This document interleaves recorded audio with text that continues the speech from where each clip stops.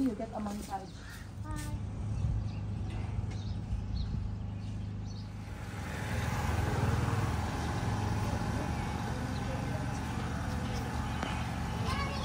Ali, Ali, you have your jacket? How did you go there? We just touched it. This is our bathroom. Huh? No.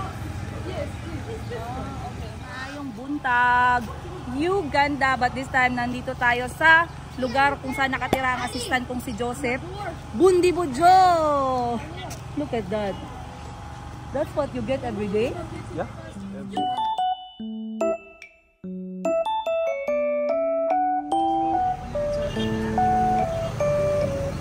Who else? Nasri properly, please. Arms, elbow. How about Chico? Did you put for Chico? Kahil. Ali, your legs are very dry. Can you help Chico too?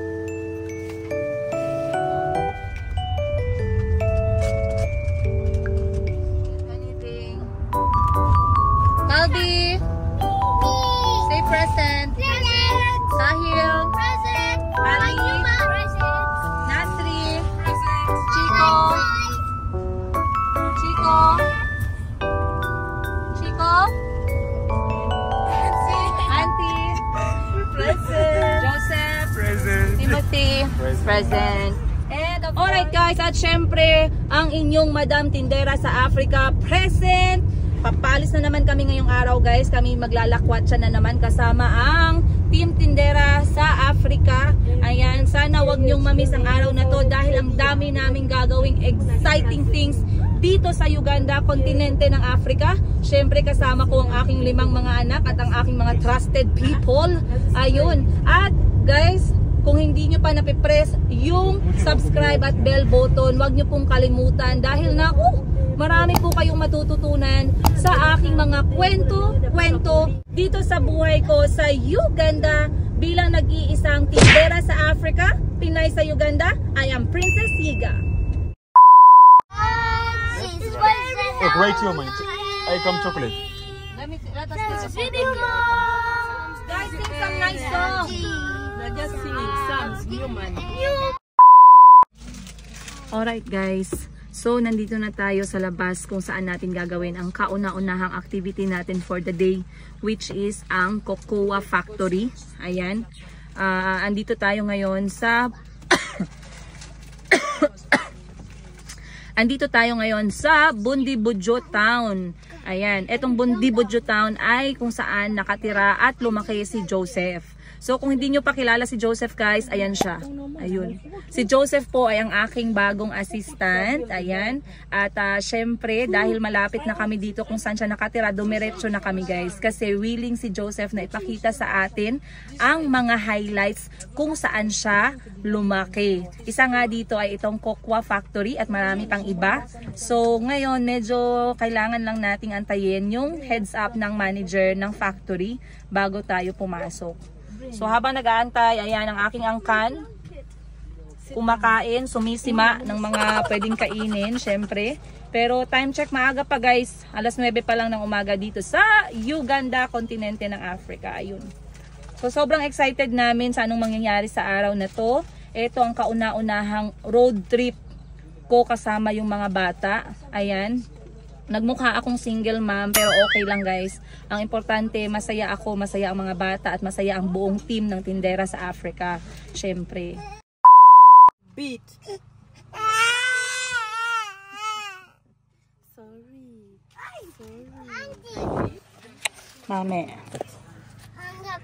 Say mame. Say mame. Say hi first hi. I bet it can. No, it's like vanilla soda. If we do it like a soda, yesterday, Alright guys, negative tayo. Hindi pumayag dito sa first dito sa first Cocoa Factory. Wait. Alright guys, negative tayo. Hindi pumayag dito sa first location natin para sa Cocoa Factory Tour. So, i-try natin sa next na location. Sana pumayag at para magkaroon tayo ng amazing experience. Let's go! Alright! Boom!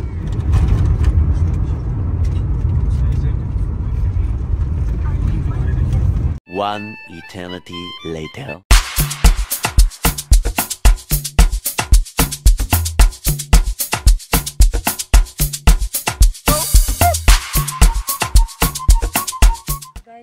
Nandito tayo sa Bundibujo District. Maliit lang to na district pero it is the largest producer of cocoa dito sa Uganda. So, ngayon bibisita tayo ng local farmer to learn from them. Of course, the best way to always learn is from the ground. So, ngayon sobrang excited ko para sa mga bata. Tara, samahan nyo kami.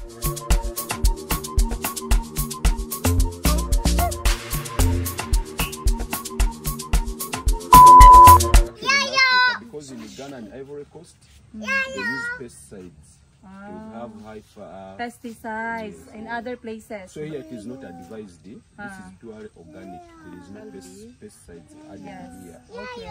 And I decided to bring you to near gardens. Eh? It is not yet ripe. It is ah. raw. Yes. Now when it is ripe, it changes to this color. Are you seeing it? Yes. So when we advise when you are harvesting, you turn it like this, uh-huh. or you use a panga, to oh. remove it so that you don't damage the seedlings inside. Oh, okay, you eh, twist it. Yeah, you oh, twist it. So these are the seedlings. Even you can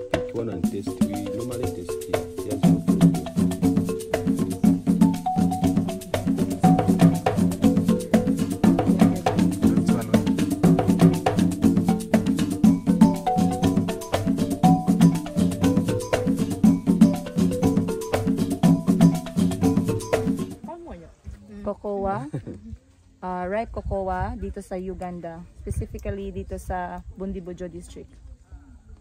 Mm. Don't chew. No, I'm not chewing.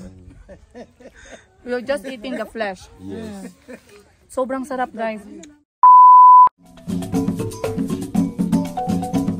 guys, here at the cocoa farm, we have seen very many stuff, and I've learned that when they are yellow, they are ready, but when they are still green, uh, they're not ready. And the seasoning is September and ending around March and April. The cocoa itself is very sweet, like you can see, it's white.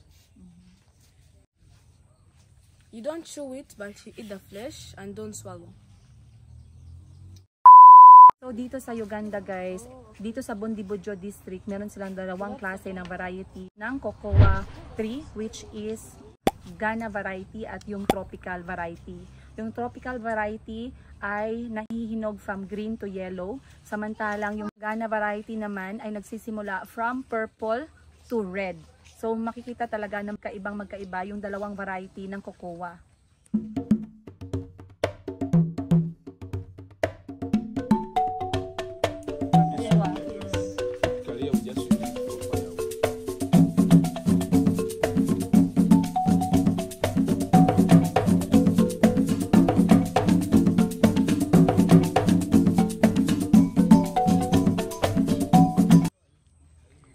Alright guys, dito sa mga collection point sa may cocoa farm, mapapansin natin na merong mga dried or composed na na mga cocoa shells. Kasi pagkatapos nilang kolektahin yung flesh or yung mga buto at laman nito, iniiwan nila yung shell. Kasi ito yung pinaka the best organic at natural fertilizer para sa buong taniman. These flowers are from the cocoa tree. Some of them will shed off and some of them will come into a fruit. What they call cocoa pods.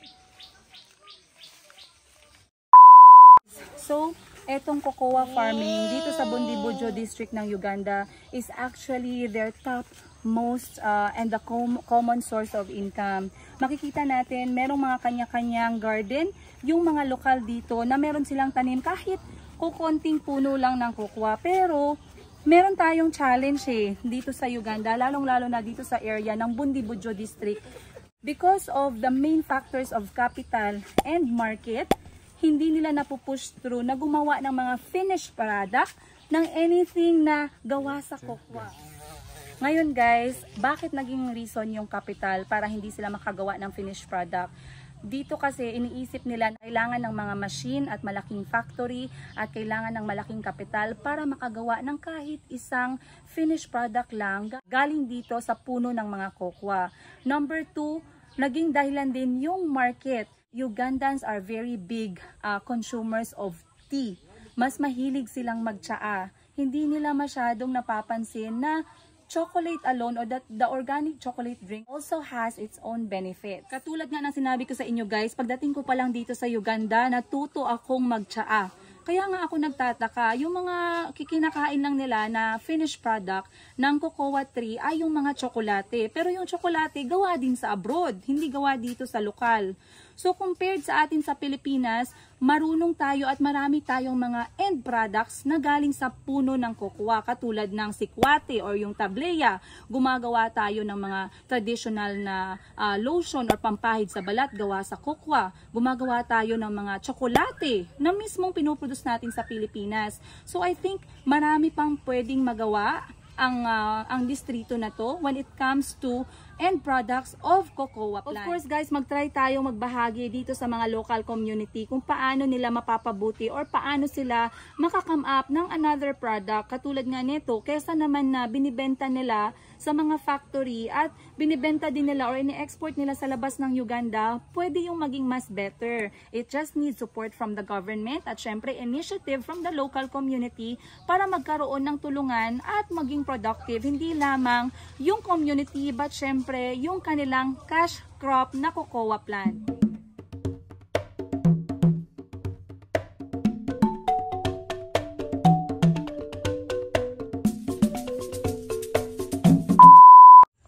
Guys, dito sa lokal na community, gumagamit sila ng kisalilyo or mahabang stick na merong matalim na dulo para mag-harvest ng mga cocoa pods kapag medyo mataas na yung puno. So, ganito ang itsura. No energy? don't use energy. You I just don't time. use energy. Yeah. Okay, sorry. Also, I think I failed. No, you have not failed. You say Uh-huh. you time.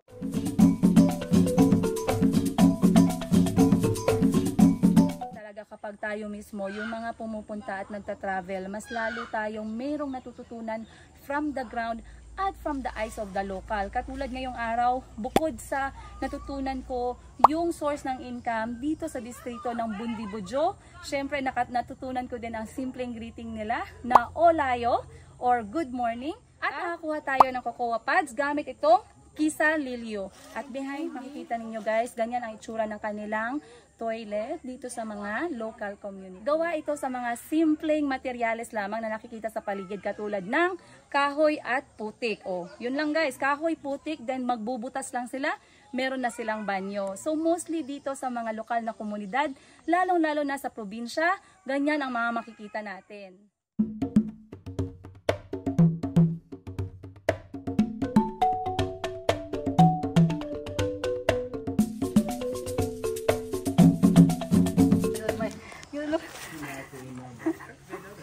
Grabe yung putik dito guys.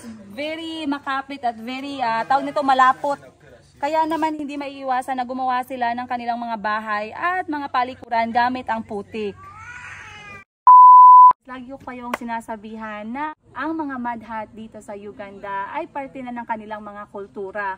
As nakikita ninyo sa likod ko, hindi lamang dahil mas mura itong gawin, kundi lahat ng mga materyales ay pwede lang makita sa paligid. Other than that, napakalamig din at napaka-presko kapag ganitong klase yung bahay na tinutulugan mo. How do I say no? Hueva lemono. Vito,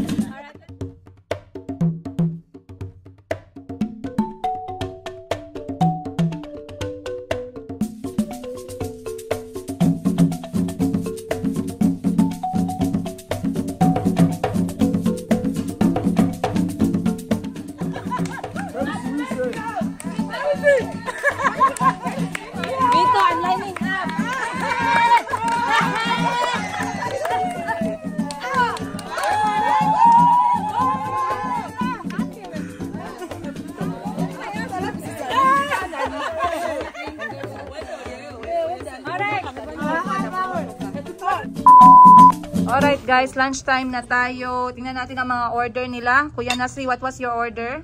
It's beef, Uh-huh. soup, yam, Ah, greens and rice. Wow, yam, boiled yam. Yeah. Greens, rice, and beef sauce. Very good. Ali, what was your order? Rice Ah.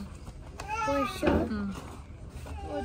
And Good Guys, soup. ngayon ang in-order ko, etong lokal na food na to. Meron tayong ah, greens, merong kanin, merong matoke or yung mashed na saging, merong boiled yam at merong kalo. Guys, tingnan nyo naman tong kalo. Parang donut na parang jelly. As you can see. Ayan. So, etong kalo ay actually made sa harina ng cassava at millet. So, ganyan ang itsura niya at ito ay isang common delicacy or common na kinakain dito sa distrito ng Bundibudyo. Para naman sa sabaw, ito ang aking partner.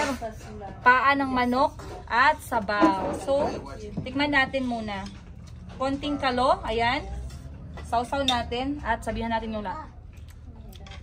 Mm. So, para siyang palitaw sa Pilipinas. Pero dito, para siyang ginagawang kanin. Mm. Mhm.